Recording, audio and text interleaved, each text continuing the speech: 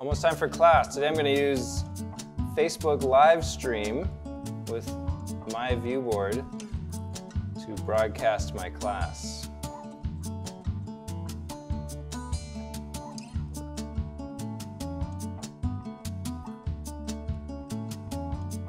Okay, going live. All right, Johnny, cool.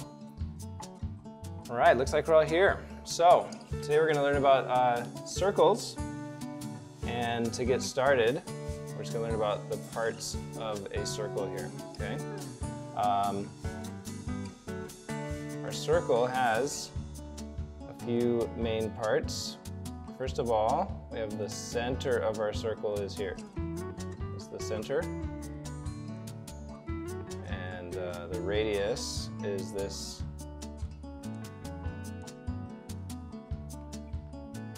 If you have a question, why don't you type it into the uh, comments there, and I'd be happy to answer any questions that anyone has.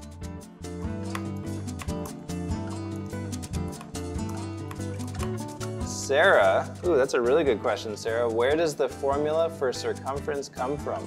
If I rearrange this formula to get c by itself, I would need to multiply both sides by d to get c by itself, right?